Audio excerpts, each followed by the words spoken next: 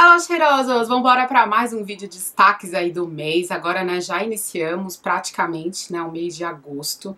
E eis que o mês de julho ficou para trás, foi um mês de férias. Deu para eu curtir, assim, bastante coisa, usar perfumes diferentes, perfumes é, mais versáteis. Fizeram dias bem frios, mas também fizeram dias quentes. Então, foi uma loucura de mês, assim. Teve dias de sol que parecia que a gente estava entrando no verão. E aí, de repente, vinha aquela onda gelada de frio e aí sabe? Temperaturas caíram drasticamente, então deu para usar de tudo durante esse mês, mas eu acabei sendo mais básica nos que eu mais usei, nos que eu mais repeti. Os perfumes que eu mais usei são esses que estão aqui nessa bandejinha, então eu espero muito que vocês curtam aí esse vídeo. Tem novidade aqui também de perfume que virou vício aqui durante esse mês, tá? Vai me deixando comentários aí também dos perfumes que você mais curtiu usar aí no último mês. Teve alguma novidade que você descobriu e que você acabou se apaixonando? Vai dividindo aí comigo que eu adoro saber o que, que vocês andam usando, o que, que vocês andam gostando gostando de usar. Já vou te convidando também a se inscrever no canal, ativar o sininho para receber as notificações e me seguir lá no Instagram, arroba Thaís Pimentel Oficial, deixa sempre aqui embaixo, por lá a gente está sempre falando sobre perfumaria, tá?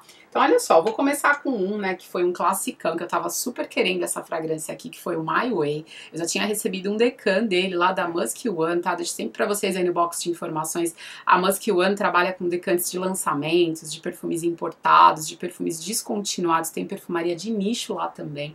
E eis que eu me apaixonei tanto por ele, depois ele acabou virando frasco. Recebi lá da Da Imports. Da Imports trabalha com perfumes importados, todos originais. Lá também vocês encontram miniaturas de fragrância. Algumas versões eles também trabalham em tester, que foi esse daqui que eu recebi, esse litrão aqui, ó. Tester maravilhoso, todo completinho, com caixinha branca. Tá? E eis que eu realmente me apaixonei demais por esse perfume. Muita gente comentou, ah, achei muito doce, achei muito potente, um perfume marcante. Ele é marcante.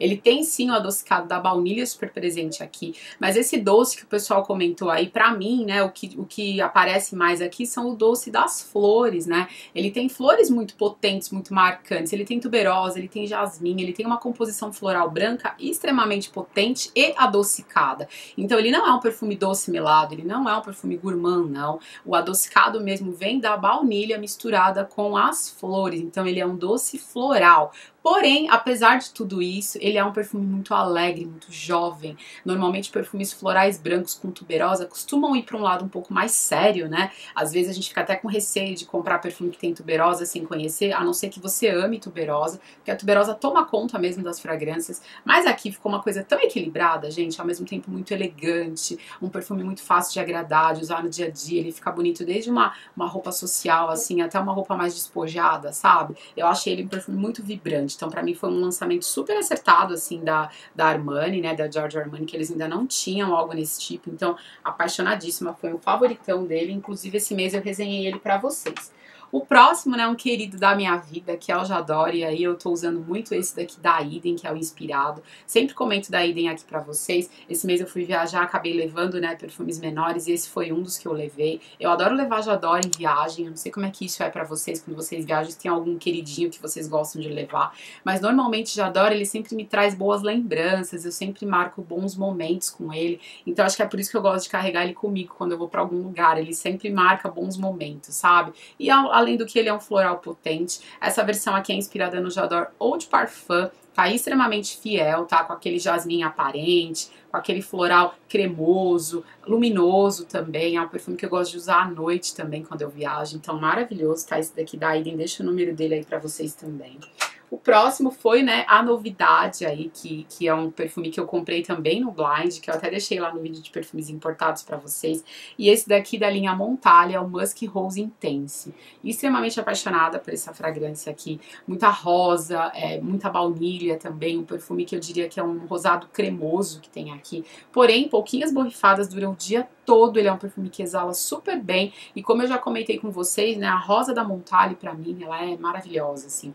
Normalmente os perfumes que tem, de, tem rosa, né, lá da, da Montalha são perfumes que eu me apaixono. Então, super, super aprovado esse daqui, fiquei viciadinha nele. Gostei de usar ele nos dias um pouco mais frios, porque eu acho que esse lado, esse fundo adocicado que ele tem é muito maravilhoso, tá? O próximo foi um perfume da Primacial, e esse daqui é recém-chegado. Eu tô pra fazer um vídeo de várias novidades aí pra vocês, mas eu já vou colocar esse daqui aqui no favorito, porque eu realmente me apaixonei nesse daqui, F32, inspirado no Euforia de Calvin Klein. Gente, que perfume, né? Um perfume sedutor, oriental.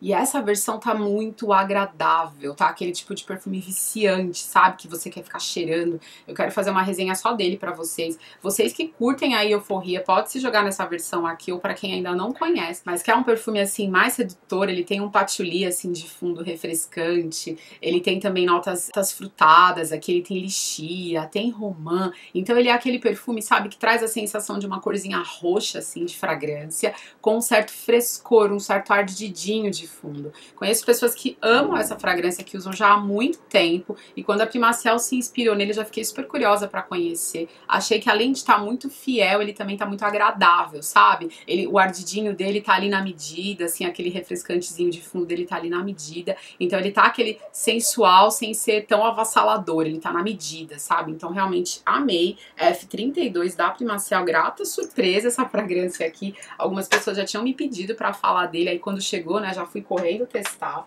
O próximo foi um perfume da Natura, e esse daqui é um clássico, né, mas eu peguei ele várias vezes esse mês para usar. É, às vezes eu tava querendo um floral, assim, frutado, que fosse levemente adocicado, mas que ficasse um pouquinho mais de tempo na pele, acabava indo ali nos nacionais e acabava pegando ele, sabe? Eu acho esse perfume agradável demais, sabe? É o tipo de fragrância que dá pra usar no calor, dá pra usar no frio. Ele fica super bonito para trabalhar também. Eu acho que ele combina com todos os estilos de mulheres, sabe? Aquele perfume versátil, versátil que vai combinar com todos os estilos de mulheres, sabe? Então ele tem um frutado adocicado aqui super agradável além também de flores, e depois ele fica com aquele cheirinho básico de natura, de banho tomado, de pele limpa. Então ele realmente é muito agradável. E nesse mês aqui eu usei ele tanto em dias quentes quanto em dias frios, e ele não desandou em nenhum dia, ele ficou super bacana. Então o Luna, né, que eu acho que também já é conhecido muito aí de vocês, querido por muita gente.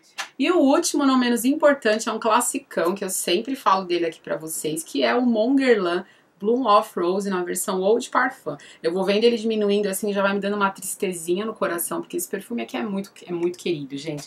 Essa é uma fragrância extremamente coringa, extremamente assim, versátil, o ano todo. No calor ele fica maravilhoso e no frio também. Então eu gosto muito dessa construção de rosa que tem aqui, com lavanda, né? A rosa que tem aqui é uma rosa muito aveludada, é uma rosa fácil de agradar, parece cheirinho de pétala de rosa mesmo, sabe? Então super recomendo para vocês, para quem não conhece essa versão Old Parfum aqui, super vale a pena ter. E ele é um perfume que às vezes ele fica meio encostadinho, mas quando eu pego pra usar, gente, eu quero usar sempre, sabe? Aquele perfume que você começa a viciar, que você quer usar direto.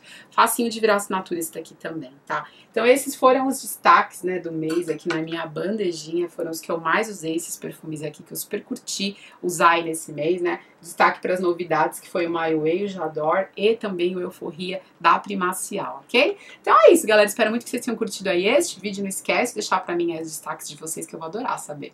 Quem curtiu o vídeo não deixa de dar aquele like aí pra mim. Um super beijo para vocês e até os próximos. Tchau, tchau.